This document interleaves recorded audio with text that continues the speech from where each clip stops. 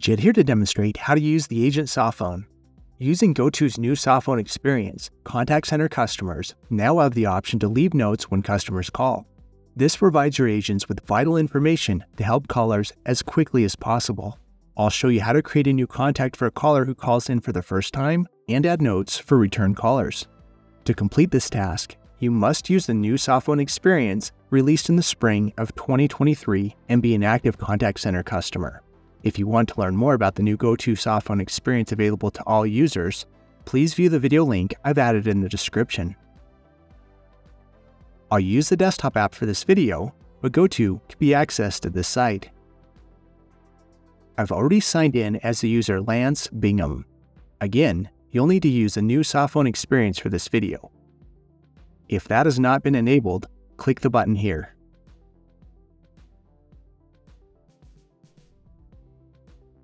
The softphone can also be enabled by clicking the profile picture in the top right corner, selecting Settings, clicking Voice, and then selecting Calls.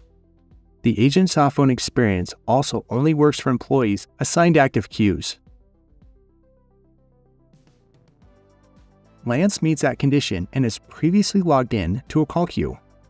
From the phone section of the GoTo desktop app, click the dial button to open the new softphone. The softphone opens by either a call coming in or by clicking the dial button. To make things easier to see for this video, I will minimize everything except for the softphone app. First, let me show you what happens when a brand new customer calls your company.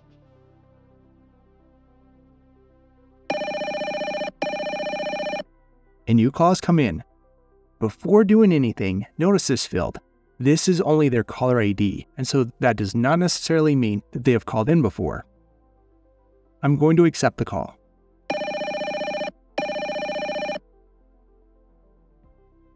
Currently, I'm only seeing the basic view of the softphone. Let's expand that by clicking the sidecar option button here.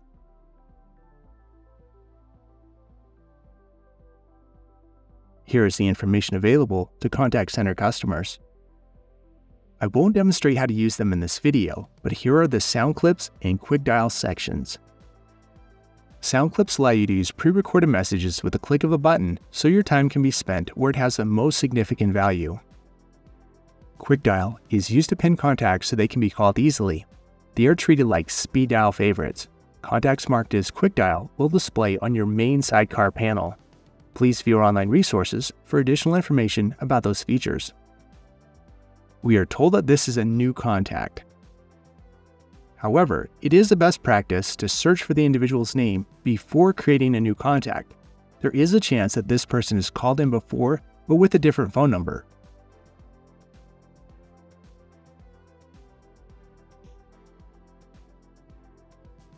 When you are ready to create a new contact, click this text. Now, you have several fields that you can fill in for this customer, None of them are required, so you can add as much or as little information as you like. You can also add, remove, or edit data in this section later. In the phone number section, you can click the More icon, which looks like three dots, to add more than one phone number to your contact. The Notes field has to do strictly with the caller, which is not where you will leave notes about the call. When you are ready to create the new contact, click the Save and Link Call button.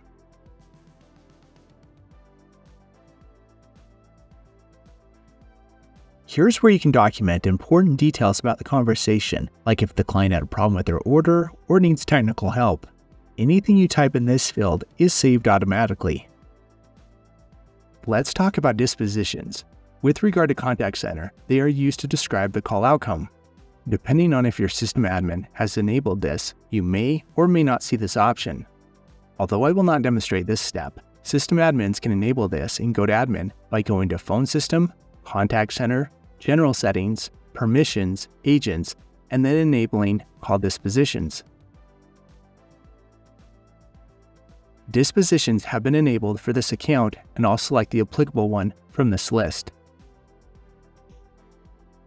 Click the tags icon. Your company creates tags to help attach them to specific key points. They may be something like a promotion or a common issue customers have been having.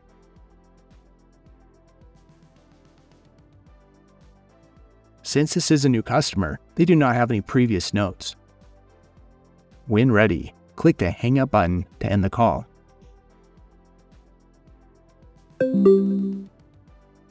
You've successfully created a new shared contact. Their information will be available to all agents in your company. I'll show you where to find their information later in this video. Once the call ends, if this setting has been enabled in GoToAdmin, you are given a dedicated time to wrap up your call before retaking calls. You can also use this time to add more notes about the call if needed. When you're ready to accept calls again, click the End Wrap Up button. Now let's see what happens when a returning customer calls.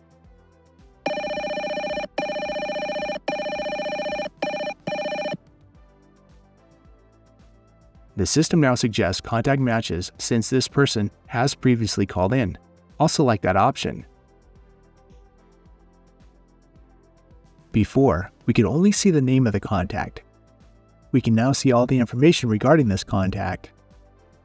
If this is not the desired contact, click the X. If this is the correct person, click the Link Contact button.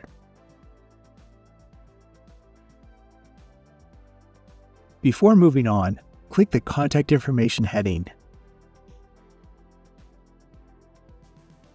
If I needed to make a correction or add additional information, I could click the Edit button. Now let's go back to the Notes section. With the Notes section open, we can see our conversation history with this caller at the bottom.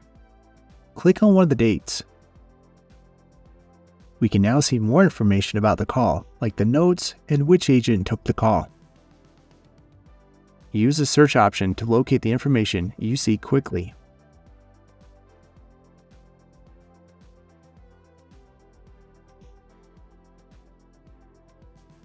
After referencing any needed information about previous calls, leave notes about the current call. Let's end the call.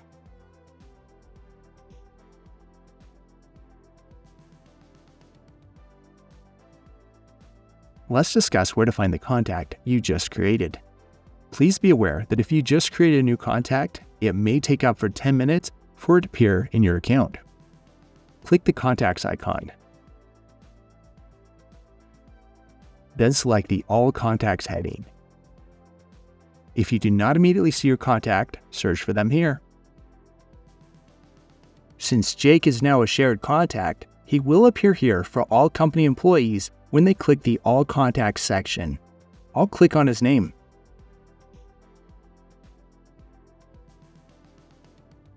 From here, I can see additional information about the previously entered contact, I can call them directly or text the contact if SMS permissions have been enabled for this user. As one final important note, if you delete this contact, you will also be removing all of their call history and notes. That's all there is to using the Agent Softphone feature with the GoToDesktop app.